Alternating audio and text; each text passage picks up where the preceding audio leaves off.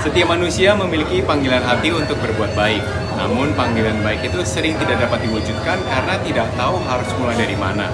Dengan kehadiran benihbaik.com, kalian semua bisa memulai berbuat baik. Yuk, mulai berbuat baik dengan benihbaik.com.